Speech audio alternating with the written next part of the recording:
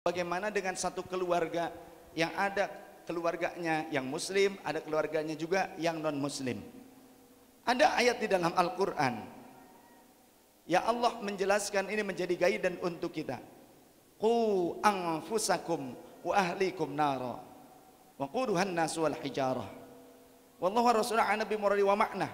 Jagalah diri kalian dan keluarga kalian agar terhindar dari neraka ini menunjukkan tujuan menikah sebetulnya. Bukan hanya memperbanyak anggota keluarga yang menjadi umat Rasul, tapi tujuan dan tanggung jawab pernikahan itu sangat berat sekali sehingga tanggung jawab yang diemban oleh kaum pria khususnya sebagai kepala keluarga adalah bagaimana bisa menjaga keimanan keluarganya hingga tidak menjadi manusia terjerumus ke dalam neraka. Akan tetapi seseorang tidak dipaksa untuk menggenggam agama ini. La ikroha fiddin. Tidak ada paksaan untuk memegang agama Islam. Sebagaimana Rasulullah punya kerabat, pamannya sendiri. Beliau tidak memaksa, tapi beliau mengajak. Sebagaimana di dalam Al-Quran. Udu'u ila sabili rabbika bil hikmati wal mau'izatil hasanah. Wajadilhum billati hiya ahsan. Wallahu rasul nabi muradi wa makna ajaklah mereka olehmu ke jalan Tuhanmu. Dengan apa? Dengan ucapan-ucapan yang baik dengan nasihat-nasihat dakwah yang santun. Bahkan jika pun terpaksa harus bermujadalah berdebat wajadilhum billati hiya ahsan. Maka berdebatlah dengan mereka dengan cara yang baik berdiskusi bermudzakarah jangan sampai mengedepankan ego tetap jaga akhlak. Rasul punya pembantu seorang pemuda Yahudi tapi Rasul gak pernah memaksakan pemuda Yahudi itu untuk masuk agama Islam. Ketika pemuda Yahudi itu sakit Rasul menjenguk ke rumahnya.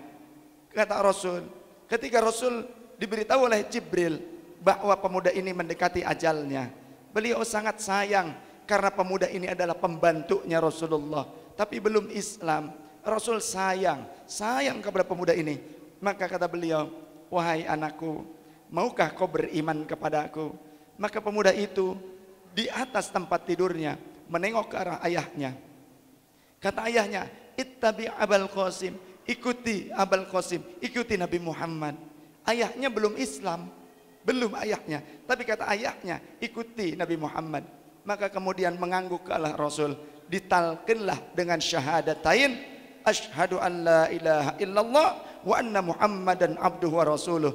Tidak lama dari itu wafat anak tersebut dalam keadaan seorang muslim tanpa paksaan. La ikroha fiddin. Tidak ada paksaan. Tapi kita punya tanggung jawab bagi keluarga kita.